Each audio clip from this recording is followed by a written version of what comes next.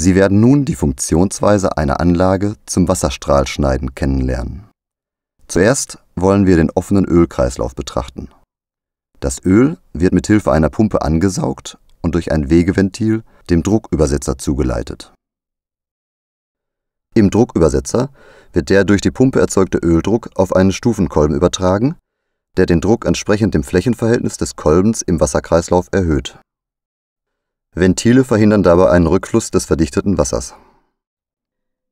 Wie Sie bereits bemerkt haben, wird durch die Übertragung des Öldrucks auf den Stufenkolben im Druckübersetzer Wasser angesaugt.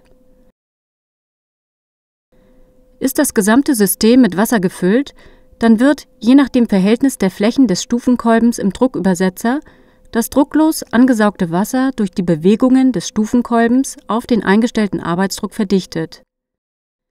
Ventile verhindern dabei einen Rückfluss des verdichteten Wassers.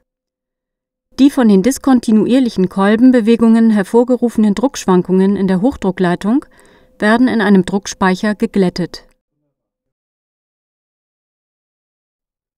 Die Hochdruckleitung führt das Wasser nun über Wendeln, durch die eine Abstandsverstellung zwischen Werkzeug und Werkstück möglich ist, bis zur Düse. Diese hat einen Durchmesser zwischen 0,1 und 0,6 mm. Durch die Düse wird die im Wasser gespeicherte Druckenergie in kinetische Energie umgewandelt. Es bildet sich ein Freistrahl, der zum Schneiden eingesetzt werden kann